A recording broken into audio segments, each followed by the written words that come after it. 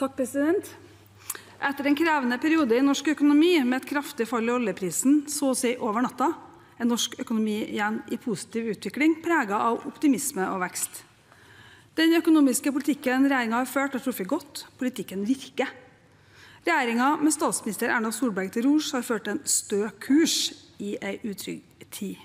Regjeringen har vist seg å være tilliten fra velgerne ved valget sist høst verdig.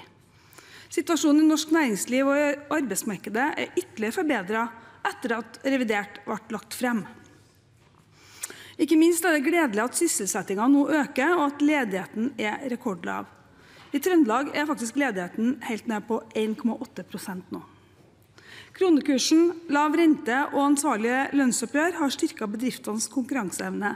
Ikke minst gjelder den eksportretta industrien. Det er optimisme og investeringsvilje i de fleste næringene og i bedrifter over hele landet. Med stigende oljepriser og en økonomi som går bra, et anslag på vekst på om lag 2,5% eller kanskje høyere, er det nå behov for å gi litt mindre gass i finanspolitikken. Det må vi skal vi skjerme kronekursen, unngå uønska renteøkning og ukontrollert kostnadsvekst. Vi reduserer derfor oljepengebruken og justerer ned bruken av oljeinntektene ytterligere. Etter et godt samarbeid med KrF ble det oppnådd enighet om revidert nasjonalbudsjett, og overraskende for mange kanskje, før fristens utløp. Avtalen innebærer at hovedlinjene i inneværende års budsjett videreføres. Det gjelder skattepolitikken, der vi har bedret rammebetingelsene gjennom å lette betydelig på skattebyrden for bedrifter og husholdninger. Det gjør vi i tråd med anbefalinger bl.a. fra OECD for å stimulere til økt vekst. Lavere skatte- og avgiftsnivå øker verdiskapinga og legger til rette sånn at det nå skapes flere jobber i privat virksomhet. Endringene i maskinskatten er et slikt viktig tiltak. Eh, vi har flere eksempler på at vi gjør det enklere å etablere nye næringer i distriktene. En rekke mikrobryggerier små gründerbedrifter jubler nå over avgiftskutt i revidert. Reindriftsnæringen kan glede seg over avgiftsfritak på driftsmidler tilsvarende de landbruket allerede har.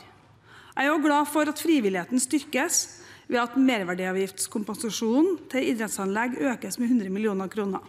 Utover dette har vi sørget for en styrking av kommuneøkonomien for å gjøre lokalsamfunnene i stand til å levere gode tjenester. Og en ytterligere styrking kommer i forbindelse med innføring av bemanningsnorm i barnehagene. Videre fortsetter regjeringen i samarbeid med Kristelig Folkeparti satsingen på forenkling for bedrifter. Vi øker bevilgningene til forskning og utdanning og på investeringer i mer moderne og effektiv klimavennlig infrastruktur. Vi får bedre veier, jernbane, og vi digitaliserer bedre. President, Hovedutfordringen for norsk økonomi fremover er å bli grønnere og mindre oljeavhengig. Det er en stor omstilling vi er i gang med, og vi vet at det vil bli langt mindre handlingsrom i økonomien fremover.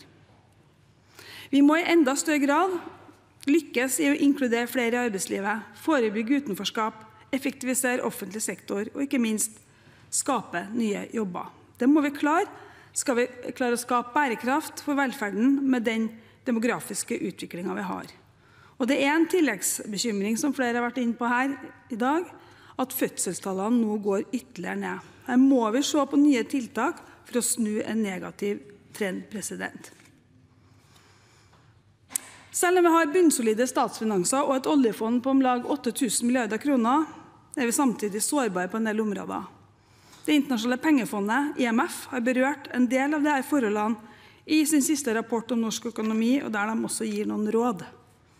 Selv om oljefondet er stort, er det ikke stort nok til å dekke fremtidige kostnader som henger sammen med en aldrende befolkning, store pensjonsforpliktelser og økning i kostnader vi vet vil komme i eldreomsorg og helsevesen. Vi har en liten, åpen økonomi, og vi er avhengig av en regelstyrt, forutsigbar situasjon i internasjonal handel. Tendensene vi nå ser til proteksjonisme og etablering av tollmurer, bekymrer. Norge vil tape skulle vi få en situasjon med en handelskrig med, mellom viktige handelspartnere. Utfallet av brexit, som omfatter våre desidert største markeder, Storbritannia og EU, er uvisst eh, per i dag. En annen bekymring er den høye gjeldsgraden i norske husholdninger og den høye prisveksten i boligmarkedet, som gjør at mange familier er sårbare for uventa renteøkninger. I dag gleder vi oss likevel over den positive utviklingen i norsk økonomi, som viser at politikken virker. Da er det viktig å videreføre den gjennom å holde en stø kurs. president.